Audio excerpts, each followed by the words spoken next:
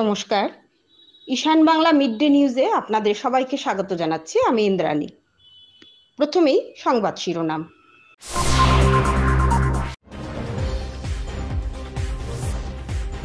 Badarpur rail স্টেশনে মারাত্মক অস্ত্রশস্ত্র সহ আটক দুই যুবক, আতঙ্ক।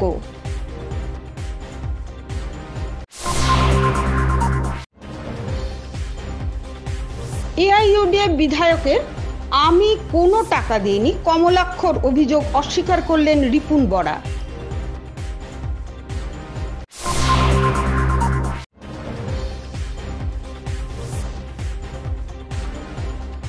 আজও বৃদ্ধি পেল পেট্রোল, ডিজেলের দাম।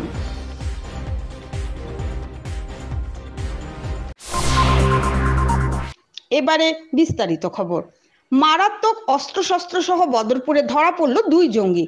বদরপুর রেল স্টেশনে ওভারব্রিজের নিচে এসব অস্ত্র ও গোলা বারুদ উদ্ধার করা হয়।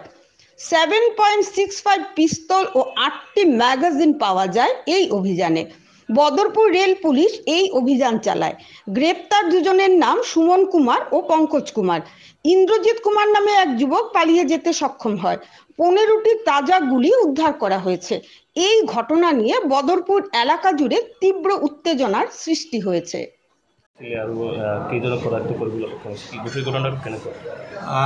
আজি ঘটনাটো হ'ল কি আমাৰ বদৰপুৰ জি আৰ পি এছৰ চেকিং পাৰ্টীয়ে এক নম্বৰ প্লেটফৰ্মত চেকিং কৰিবলৈ কৰি থকা অৱস্থাত এক নম্বৰ প্লেটফৰ্মৰ অভাৰব্ৰিজৰ তলত তিনিজন মানুহ সন্দেহযুক্ত অৱস্থাত বহি থকা দেখা পাই পিনি তেওঁলোকক সোধ পোছ কৰিবৰ কাৰণে যাওঁতে এজনে পলাই গুচি যায় আৰু অন্য এজন লোক কাষতে থকা ৱালটো পাৰ হ'ব যাওঁতে পৰি যায়। তাৰপিছতে আমাৰ মানুহে তেওঁলোক ইজনকো ধৰি মেলি আৰু লগত থকাজনকো ধৰি মেলি আনে। আৰু বস্তু কিছু উদ্ধাৰ হৈছে। বৰ্তমান আমি এতিয়া তদন্তৰ পৰ্যায়ত আছে। তেওঁলোকক সোধ পোছ কৰা কৰি থকা হৈছে। কি কি পালে? তেওঁলোকৰ লগত চাৰিটা seven point six five M এমৰ পিষ্টল পোৱা গৈছে আৰু পোন্ধৰ যায় গুলি পোৱা গৈছে। আহ, আৰু তেওঁলোকৰ ওপৰত কিবা তথ্য পাইছে নেকি এতিয়ালৈকে যোনজন পলাইছে তেওঁ মাষ্টাৰ মাইণ্ড কোন আছিলে তিনিজনৰ মাজত? এতিয়া তেওঁলোকক সোধা মতে সেই যিজন পলাই গৈছে সেইজনেই বুলি কৈ- আছে। ক'ৰ পৰা আহিছে বস্তুবিলাক? বিহাৰৰ পৰা আহিছে বুলি শুনিছোঁ। আৰু ক'ত লৈ যাব? আগৰতলাত লৈ যাব বুলি কৈ আছে।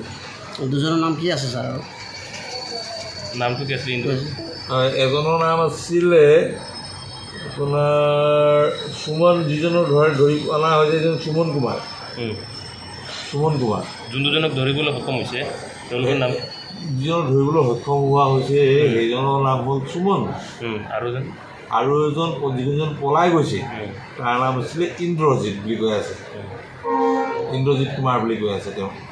মানে দুজনক ধৰা হৈছে কৰাকৈ দুজন কৰা হৈছে। দুজনৰ নামটো সুন্দৰকৈ কৈ দিয়ে ভালকৈ গড় কৰ এজন বিকাশ। বিকাশ কুমাৰ তিৱাৰী বুলি তেওঁলোকৰ ঘৰ ক'ত গতিকে বি- বিহাৰৰে বিহাৰ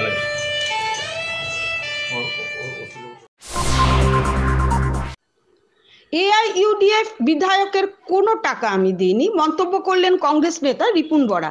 তিনি বলেন, কমলাক্ষ দে পুরকায়স্থ বলেছেন, তার কাছে কোনো প্রমাণ নেই। যখন প্রমাণই নেই, তখন তিনি কেন এসব কথা বলছেন? সম্ভবত বিজেপির অপপ্রচারের বলি হয়ে এ ধরনের মন্তব্য করছেন কমলাক্ষ।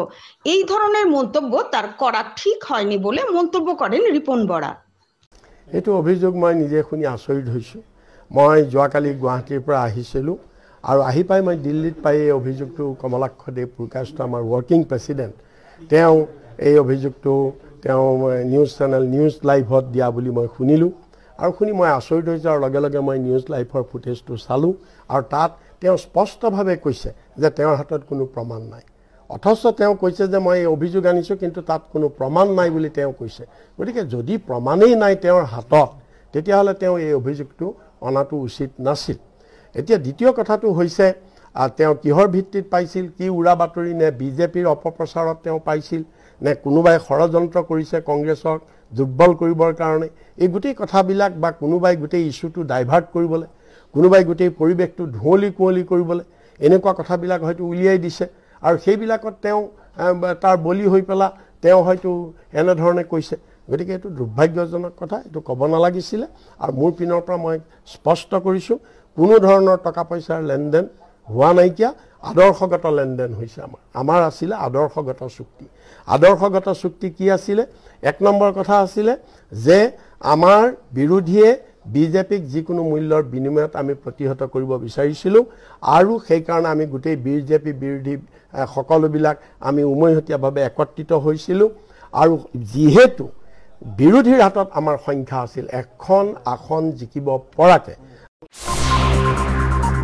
আজও বাড়ল পেট্রোল ডিজেলের দাম। লিটার প্রতি চব্বিশ পয়সা করে বাড়ল পেট্রোল ও ডিজেলের দাম। এ নিয়ে গত চোদ্দ দিনে তেরো বার বাড়ল পেট্রোল ডিজেলের দাম। শিলচরের পেট্রোলের লিটার একশো চার টাকা ছাড়িয়ে গেছে। গত তেইশে মার্চ থেকে লাগাতার বেড়েই চলেছে পেট্রোল ডিজেলের দাম।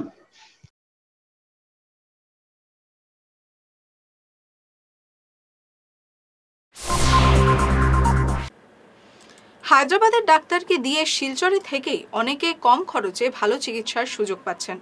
গত তিন মাস থেকে হায়দ্রাবাদের বিখ্যাত সব ডাক্তাররা রোগী দেখছেন প্রেমতলার মেডিসিন হাবের উপরতলায় কিওর প্লাসে। প্রতি শুক্র ও শনিবারে রোগী দেখছেন এই ডাক্তাররা। অনেক জটিল রোগে আক্রান্তরা সুস্থ হয়েছেন শিলচরে থেকেই। এ নিয়ে কিওর প্লাস কর্তৃপক্ষের সঙ্গে যোগাযোগ নম্বর হল nine three nine five four one three eight nine zero অথবা nine one six nine one six six nine zero seven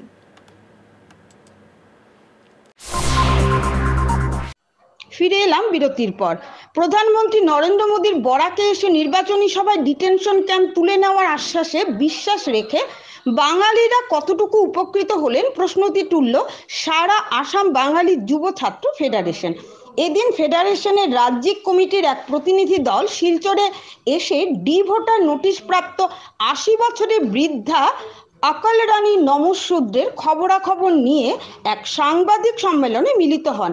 উল্লেখ্য ডি ভোটার তকমায় দুই হাজার বারো সনে আত্মঘাতী অর্জুন নমঃশূদ্রের আশি বছরের বৃদ্ধ মাতা ওই আকল রানী নমঃশূদ্র ফেডারেশনের কর্মকর্তারা আকল রানীর এনআরসি ও ভোটার লিস্টের নাম থাকা সত্ত্বেও কীভাবে ডি ভোটার হলেন প্রশ্ন তুললেন তারা।